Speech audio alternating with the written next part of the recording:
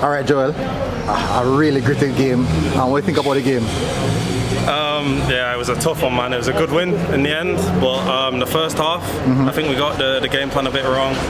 Um, I think we grew into the game mm-hmm. and we got better as it went on, and we just realised that we weren't stretching them enough. And then when we in the second half we came out, we were at it. We were stretching them in behind, winning more second balls, mm-hmm. and then um, yeah, Ethan showed great composure um, on the ball, found Bobby and Bobby spun it in behind and Dimmy did his thing, got the goal, and I think the main thing is we kept that clean sheet. Mm-hmm. Just shows that togetherness, and yeah, we, we, just wanted to get a win, especially for the for the crowd that turned up today. It was so important for us. Uh, what was the instruction at halftime from the coach?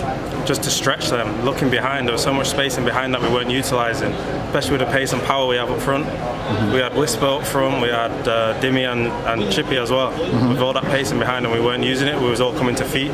So he wanted us to, to stretch it and then be more aggressive on the press as well. And what's your assessment of, of, of the midfield battle for for you today? Um, it was tough. Um, I wasn't at my best today in the first half. Um, I know that, and um, but I, like I said, I grew into the game, and in the second half I was much better.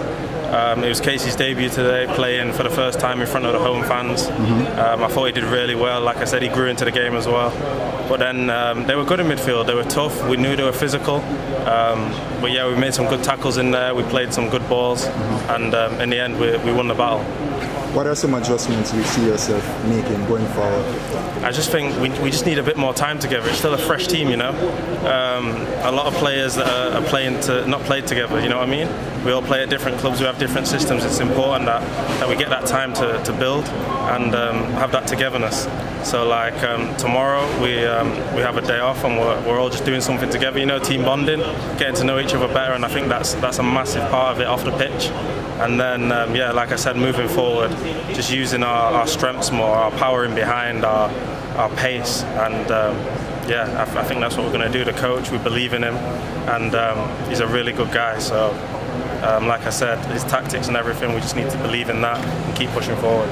Right, for me, um, you were a pivotal part in the midfield today, especially in the second half. Mm-hmm. Um, there were some times when you were running, running, just running, wonder where you got the energy from.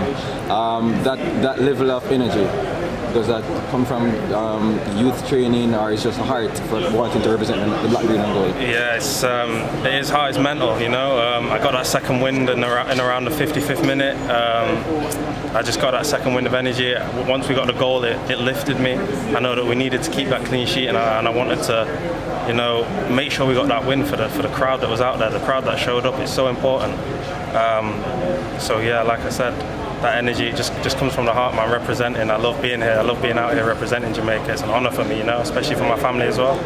So um, yeah, that, that's what it is, man. And my final question, Joel, for the the younger generation watching, what kind of advice can you give them from a physical aspect and a mental aspect of the game? Um, physically, man, the CONCACAF is, is tough. Um, there's a lot of athletes, there's a lot of strength, and um, just keep working, man. And mentally, you just need to be on it straight away. When you come here, it's don't get me wrong, it's good vibes, but it's focus as well. It's it's training right, it's preparing right, it's sleeping right. Um, off the pitch is so important, eating the right things, you know what I mean? Being professional. And we've got those leaders now in the team that are setting the example. So for the young ones, just keep training hard and the coach will give you a chance. Like Whisper's playing, he's 17 he'll give you the chance as long as you're putting in that work and that work ethic is there, you're going to get a chance. So, so keep going, keep believing.